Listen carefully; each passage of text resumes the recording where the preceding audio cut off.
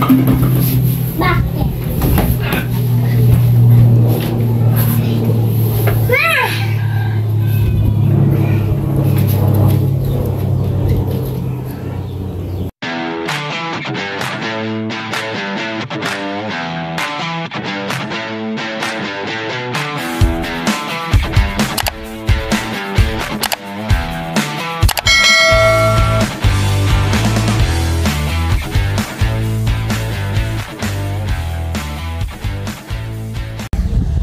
Magandang umaga sa inyong lahat mga kababayan. Kumusta na kayo dyan?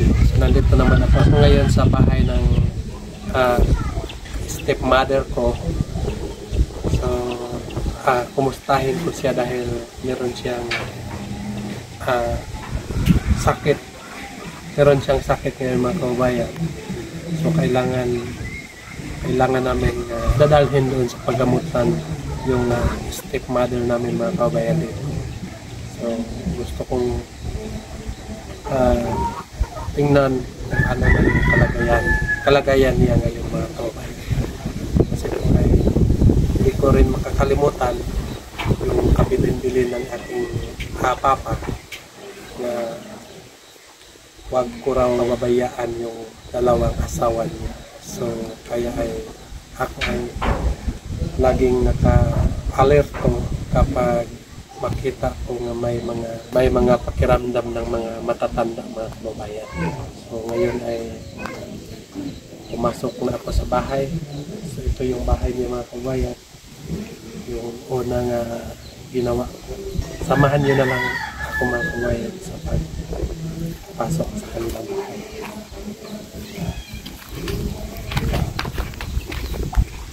Ito, itulak lang natin ito mga kababayan. Ayo. Ito, pasok tayo.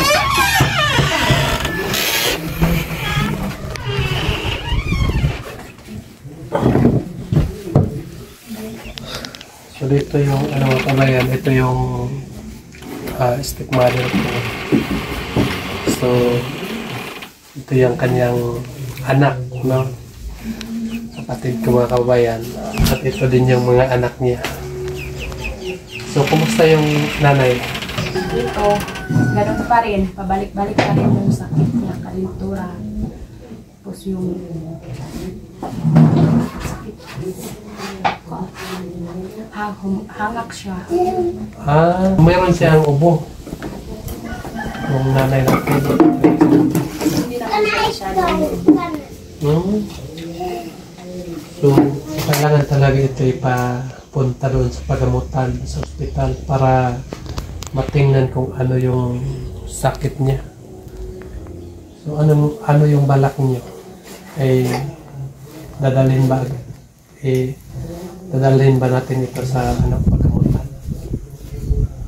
Sana balak namin, pero wala kami pera. Pang bayan ng ano, hospital. Kaya naka, napunta ako dito dahil nalaman ko nga ano ah, bumalik-balik yung kanyang sakit. Ah, minsan ngayon mawala yung kanyang sakit ng ulo. Mamaya ah, pagkabukas naman babalik na babalik na naman. So kailangan natin ito ipa ano ipa-check out. Anong ano ang kanyang ano ano ang kanyang sakit. So, mahirap kapag magbigay lang tayo ng gamot nga hindi natin alam kung ano yung sakit niya. So, mas mas nindot kung ang ang gamot nga i dapat natin sa kanya ay galing po sa doktor. So bukas ay pupunta na lang kayo doon sa Panabo at check na lang ninyo si mama natin para matingnan kung ano yung kanyang sakit. Tulad nung ah, mama ko na dinadala namin doon sa ano sa Dabodok Hospital. So nakita yung ano ang resulta sa kanyang balikat. So yun ang sabi ng doktor nga kailangan ng uh, operahan yung balikat ng mama ko kasi may may buto doon nga na ano na na ba na ano na down. So kaya ay kailangan nga kailangan ng operahan. So hindi pa kami nag-desisyon at baka meron pa kaming mga makilala nga marunong maghilot. So doon muna kami.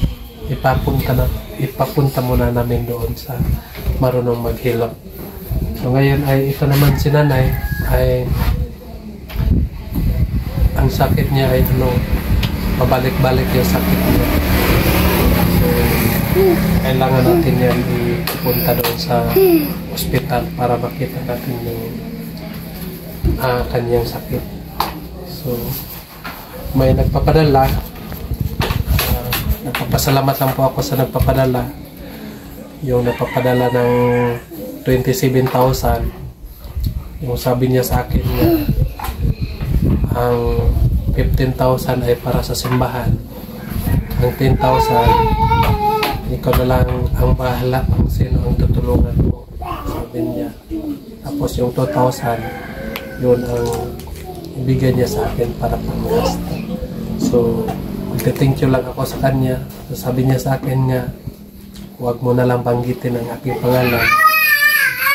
Ang importante lang nga makatulong ko sa tao nga nangangailangan ng Maraming salamat po sa iyo no, sa pagtulong, lalo na sa pagtulong ng ating simbahan.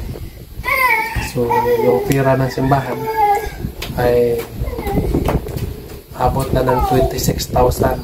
So, gusto ko nga saka na lang natin yan uh, paumbisahan pag abot na yung pira natin ng 50,000 para ma na lang isang linggo na lang pagawa natin yung tires natin para matapos na agad. So, magagastuhan kasi tayo pag pabalik-balik. So, yung panday natin, pauli-uli na sa kanya, uli sa ilang ba balay, duwa ka adlaw trabaho, muli na po. So, gusto ko nga strict na lang ah, Sunday to Friday. At maraming salamat sa iyo. So, ibigay ko ito sa kanya. Ah, magbibigay ako sa kanya ng 5,000 para po ay yung kahalati naman ito mga kawayan at itulong na, naman, itulong na naman natin sa iba pang uh, nangangailangan. So, maraming salamat sa iyo dyan. Ate, mag-ingat ka dyan palagi. Uh, ang ginoo na lang ang bahala mo para sa iyo. Ito, ibigay sa kanya. So, tanggapin mo ito. Ikaw na, ikaw na lang bahala magpunta doon sa doktor. So, para ma para ma check up mo itong nanay para makita natin kung ano yung ano yung kanya.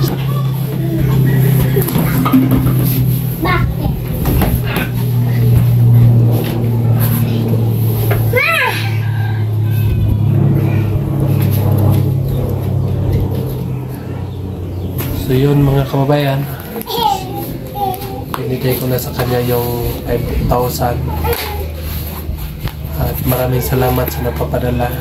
So yung 5,000 nga natira, at bigyan na naman natin doon sa uh, nangangailangan pa rin ng tulong. So marami pa tayong mga uh, kasamahan dito na natutubo lalo na doon sa kabundukan na nangangailangan ng tulong.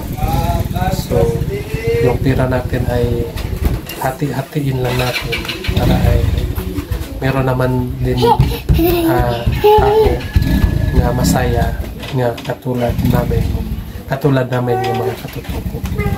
So, yun lang mga kababayan. Maraming salamat po sa inyong lahat na nagasubaybay ng ating YouTube at walang sawa na nagtatanong. Salamat kayo sa inyong tanan. At maraming salamat din po sa hindi nag skip ng ads mga kababayan sa mga lahat ng mga sponsor natin. Maraming salamat mga kababayan. lalo na sa ating simbahan. Maraming salamat. At lalo, lalo na din kay Sir Paul at kay Tita Pibilam. Maraming salamat din po sa iyo. Lang, maraming salamat po.